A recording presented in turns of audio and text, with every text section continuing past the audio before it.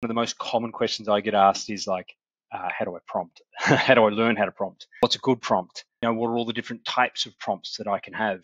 And of course, uh, there are lots of resources online to learn how to do this, but the most obvious and most simple is right in front of you. That's to ask Gemini how to teach you how to prompt. G'day, g'day. Scott Gallop here, CEO of IT Genius. I went to a new chat and said, hey, teach me how to prompt like a master.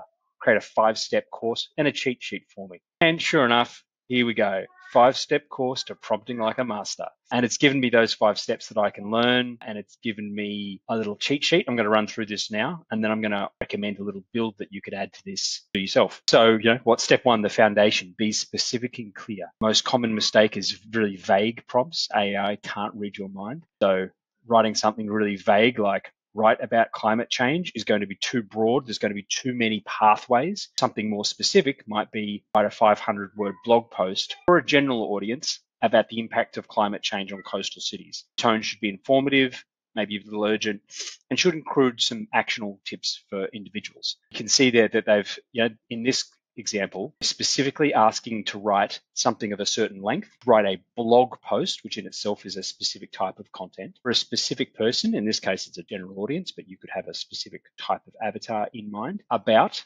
not just climate change, but the impact of climate change on a coastal city. So a really specific topic. Then set the tone and we want to ensure there's actionable tips. Very specific. Here's a master version. Act as a climate scientist writing a 500 word blog post target audience is homeowners in coastal cities aged 40 to 60. Post should explain the specific impacts of sea rise and extreme weather events on their property values, use serious tone, include a section with cost effective actions, and end with a call to action. Now, in this post, uh, or in this version, this bit at the front is really important. Act as a climate scientist. Now, that means take on a role. In this case, take on the role of someone highly informed that you can trust knows this sort of stuff better than anyone in the world. And so it's going to draw on its knowledge of what a climate scientist knows in order to write a 500 blog post. It's going to get much more specific with who it's targeted in terms of age range, in this case, homeowners. So it's going to tailor content for the post. And then they've called out some really specific things that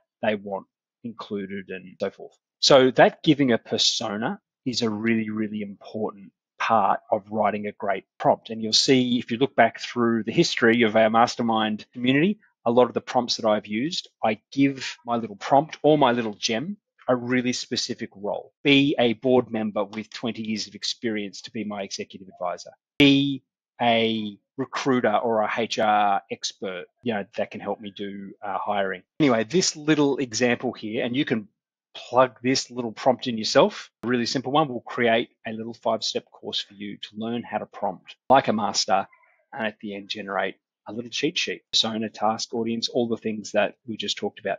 I'm really excited to see what you guys come up with. Let me know in the chat or in the comments there uh, what you've learned about a good prompt and also any tips that you might have from your own experience of prompting Gemini. Join our free Gemini AI Mastermind community, get answers, fix roadblocks, and stay ahead with Google Workspace plus AI. Links below, I'll see you inside.